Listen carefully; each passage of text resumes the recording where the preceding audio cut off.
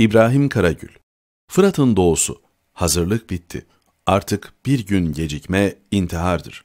Yoksa ikinci koridor Türkiye'de açılır. Kimse bize Amerika çıkarlarını, İsrail önceliklerini, İngiliz hesaplarını pazarlamasın. Hiçbir güç bu müdahaleye açıktan karşı duramayacak. Artık an meselesi, gün veya saat meselesi. Fırat'ın doğusuna, o terör koridoruna, o çok uluslu cepheye müdahale için operasyon başlamak üzere. Türkiye'nin gücü bir kez daha harekete geçmek üzere. Bin yıldır bu topraklarda ne yapıyorsak yine yapacağız. Tarihin en ağır bunalımlarından hangi akılla çıkmışsak o aklı yine devreye sokacağız. Masamıza harita taslakları koyanların masası devrilecek. Bize rağmen bize karşı bize vurmaya ve yaralamaya, tarih ve coğrafya dışına itmeye, Anadolu içlerine hapsetmeye ayarlı hesaplar bir kez daha bozulacak. Buna gücümüz var, aklımız var, yeteneğimiz ve tecrübemiz var. Türkiye cephesini açmak için Suriye Savaşı çıkaranların, Irak ve Suriye'den sonra Türkiye'yi vurmayı planlayanların, bu amaçla dışarıdan çevreleyip içeride cepheler kuranların, sınırımızın sıfır noktasına devasa askeri yığınaklar yapıp içeriden oyalamaya çalışanların defterleri dürülecek. Coğrafya ve tarih biçimlendirmeye dönük yeni ve çok güçlü bir adım atılacak. Suriye'nin kuzeyinde inşa edilen, tek amacı Anadolu'yu küçültmek olan büyük hazırlığa müdahale edilecek. Buna gücümüz var, aklımız var, yeteneğimiz var, tarihten aldığımız can yakıcı dersler var, askeri ve siyasi tecrübemiz var, coğrafya kimliğimiz ve ülke bilincimiz var. En önemlisi de Anadolu savunması, vatan savunması diye aşındırılamaz bir kimliğimiz var.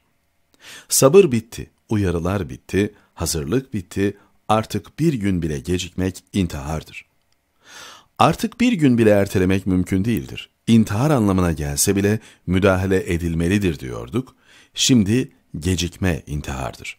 Vazgeçmek, ertelemek, ihmal etmek, başka teklif ve pazarlıklarla oyalanmak bu ülkeyi de geleceğini de imhadır. Sabır bitti, uyarı bitti, hazırlık bitti. Müttefiklere güven bitti, tiyatro bitti. Milletimizi, ülkemizi içeriden uyutma, hareketsiz bırakma ve sonrasında çaresizce teslim olmaya ayarlı bütün senaryolar buraya kadardı, bitti. Hiçbir ülke gözünün önünde büyüyen, kendisini vuracağı belli olan bir tehdidin daha da büyümesine göz yummaz, yumamaz.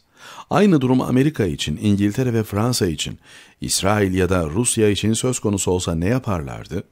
Hangisi susar, hangisi iç politika manevralarıyla oyalanabilir, hangisi benim sınırımın dışında diyerek seyrederdi? Sıfır noktasında savunma olmaz. Yarın o savaş Anadolu'ya taşınır. Hiçbir ülke kendi sınırının sıfır noktasında savunamaz. Hele bizim coğrafyada, güneyimizde, Suriye ve Irak'ta büyüyorsa bu tehdit, asla sınırımızın sıfır noktasında savunma kurulamaz. Bunu yaparsak o savaş yarın Kahramanmaraş'a, Sivas'a, Anadolu içlerine taşınacaktır. Çünkü savaşı dışarıda durduramıyorsanız içeride yüzleşeceksiniz demektir.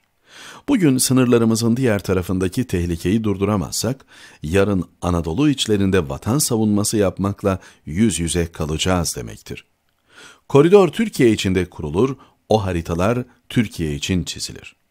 Bugün Irak'ta olduğu gibi Suriye'de de çekiç güç benzeri bir yapılanmaya boyun eğersek, onu normalleştirirsek, yarın aynı çekiç güç modeli Türkiye'nin güney bölgelerinde bizim topraklarımızda kurulacak demektir.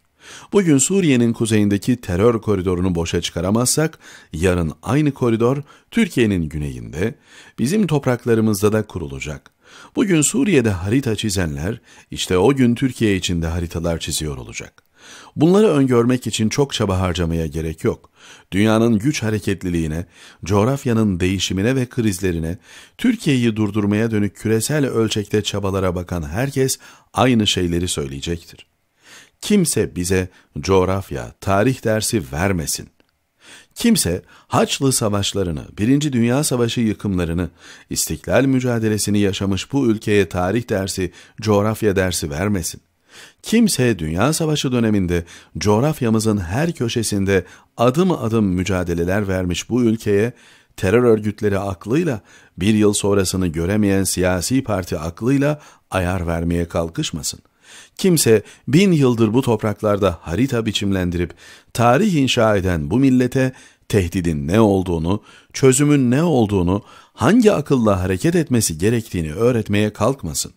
Kimse bize Amerika çıkarlarını, İsrail önceliklerini, İngiliz hesaplarını pazarlamasın. Kimse bizi İran-Suud denklemine sokup siyasi körlüğe sürüklemeye çalışmasın. Bize Orta Asya kapılarını kapatanların, o coğrafyayla kara bağlantımızı kesenlerin, güneyimizde yeni duvarlar örmesine, Arap İslam dünyasıyla bütün bağlarımızı kesmesine, bizi coğrafyada yalnızlaştırmasına, Anadolu'ya hapsetmesine izin vermeyeceğiz. Bunu yaptıktan sonra Suriye ve Irak'ın kuzeyinden vurmasına, Akdeniz ve Ege'den çevrelemesine, Yunanistan'dan Romanya'ya kadar batıdan sıkıştırmasına izin vermeyeceğiz.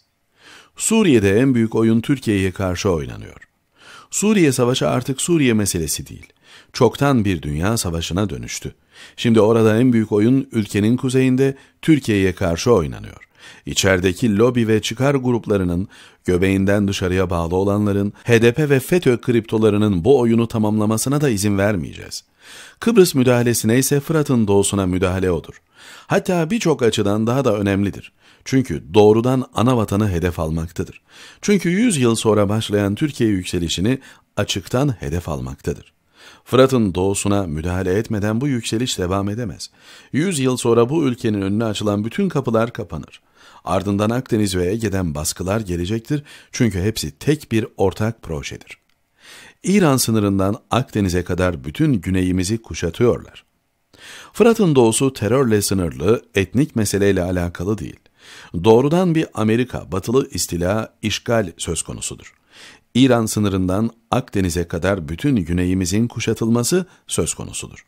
Fırat Kalkanı ve Afrin operasyonlarıyla Akdeniz kapısını kapattık. Irak'ın kuzeyinde devam eden pençe harekatıyla doğu kapısı da kapatılıyor. Ama yüzlerce kilometrelik bir cephe önümüzde duruyor. Buna müdahale etmek bu ülkeye aidiyet hisseden herkesin boynunun borcudur. Hiçbir güç Türkiye'ye açıktan karşı çıkamaz. Hiçbir ülke, hiçbir güç Türkiye'nin bu müdahalesine açıktan karşı duramayacak. Amerika bile, İsrail bile, onların ortakları Suud ve Birleşik Arap Emirlikleri bile. Bileklerimiz güçlü, zihnimiz duru, hafızamız güçlüdür. Yüzlerce yıllık o akıl harekete geçmiştir. Hiçbir gücün bunun önünde duramayacağını, tarihin akışını değiştiremeyeceğini göreceğiz. Bugüne kadar hep bu aklı kullanarak geldik. Öyle devam edeceğiz. Yine bu akılla Fırat'ın doğusuna müdahale edeceğiz. Çünkü bu geleceğin Türkiye'sinin çağrısıdır. Erdoğan yüzyılların dilini kullanıyor. Fırat'ın doğusu bir beka meselesidir. Cumhurbaşkanı Erdoğan'ın tarihin derinliklerinden, Selçuklu'dan, Osmanlı'dan süzülüp gelen ve Türkiye'nin siyasi genetiğine hitap eden sözleri bütün bu gerçekleri açıklıyor. Ama bakıyorum garip, belirsiz bir el bu cümleleri bile etkisizleştirmeye çalışıyor. Bir gizemli müdahale burada bile kendini hissettiriyor. Fırat'ın doğusu beka meselesidir.